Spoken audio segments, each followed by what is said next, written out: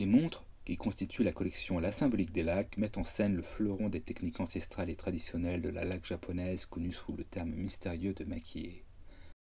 Fidèle à l'esprit de la collection Métiers d'art, la série La Symbolique des lacs se déclinera sur trois ans, chaque année donnant naissance à un nouveau coffret de trois montres en série limitée à seulement 20 exemplaires. Chaque volet présentera des motifs choisis pour les cadrans, réalisés avec la technique du maquillé, dans l'immense réservoir symbolique des traditions artistiques d'Extrême-Orient.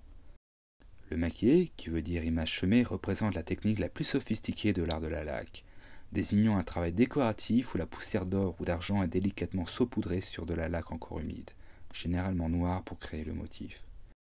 Cette technique décorative est une invention japonaise, arrivé à pleine maturité entre le 8e et le 12e siècle de notre ère pour devenir l'ornement prédominant au XVIIe siècle. D'un point de vue horloger, c'est le calibre extra plat 1003 qui a été choisi par Vacheron Constantin pour équiper cette série de garde-temps. C'est une version squelette du mouvement construit en or 14 carats que l'on trouve ici. Pour magnifier l'harmonie de l'ensemble et veiller à ce que le travail du maquillé soit bien mis en avant, Vacheron Constantin a opté pour un traitement ruthénium qui offre un effet plus élégant à la montre.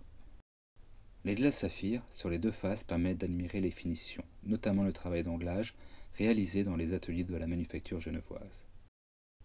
Le premier coffret décline le thème de la longévité dans la tradition extrême orientale avec les trois amis de l'hiver, le pin, le bambou et le prunier. Par leur capacité à résister au grand froid, les trois amis représentent avant tout la longévité. Par extension, ils sont associés à la loyauté d'une amitié survivant aux moments difficiles de l'hiver. Les pins sont vénérés par leur âge et leur force. Ils sont aussi tenus en haute estime car ils restent verts en hiver. Le bambou est perçu comme un parfait gentleman, souple face au changement, mais sans jamais abandonner son idéal. Dès que la tourmente est passée, il regagne sa position initiale.